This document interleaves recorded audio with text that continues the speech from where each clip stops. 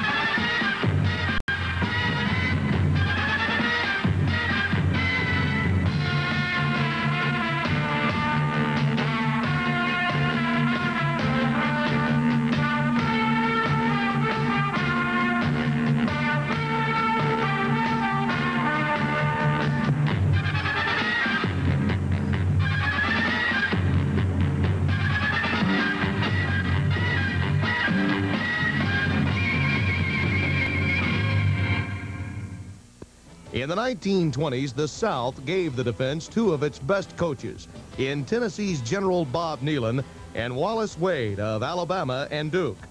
When Bernie Bierman came to Minnesota in the mid-1930s, defense paced the Gophers to six Big Ten titles in 10 years, including five national championships. The 1940s found Chuck Bednarik playing both ways at Penn, but his favorite pastime appeared to be nailing the quarterback. The first Outland Trophy honoring the outstanding interior lineman of the year went to Notre Dame's George Connor in 1946. Dick Modzelewski of Maryland was a true force against the run as he won the Outland Trophy in 1952. In 1957, Iowa's Alex Karras was an awesome tower of power as he dominated the line of scrimmage.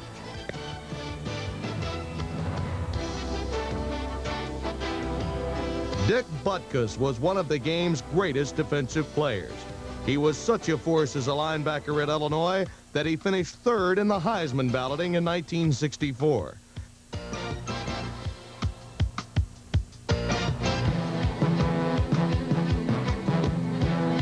Texas, they still boast of Tommy Nobis, a Southwest Conference superstar who could hit with the best of the breed. Alabama's Lee Roy Jordan was so awesome at linebacker that in the 1964 Orange Bowl versus Oklahoma, he recorded an amazing 31 tackles.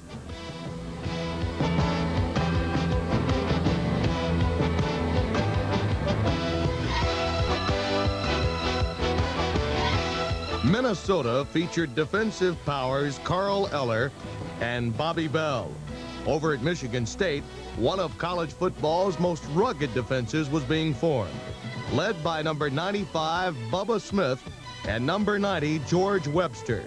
The Spartans punished opponents as they won the Big Ten crown in 1965 and 66.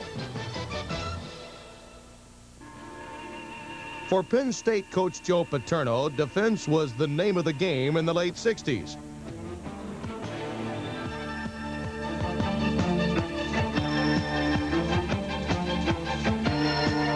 Penn State became known as Linebacker U, with such stars as number 68 Mike Reid, Denny Onkotz, Jack Ham, Randy Crowder, and Matt Millen.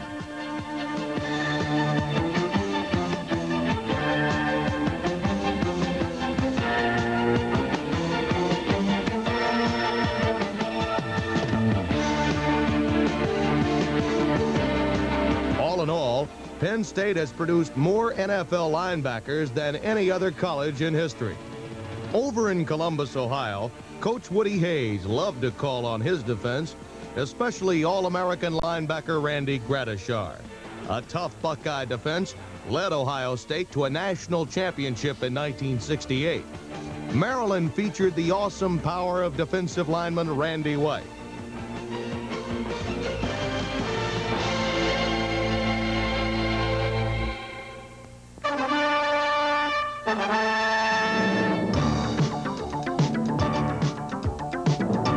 The first family of college football defenses were the ferocious Selmon brothers of Oklahoma.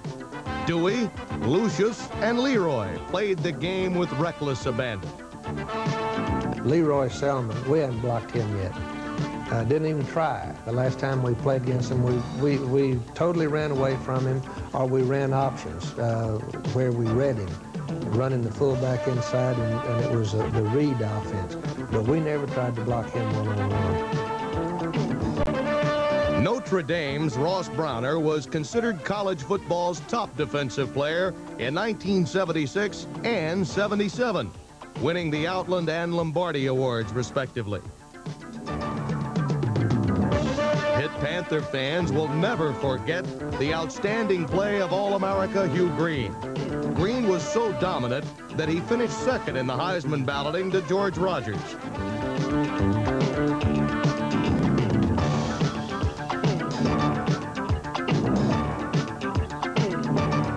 1980s featured a linebacker named the Boz. Oklahoma's Brian Bosworth was one of the most punishing hitters the game has ever seen.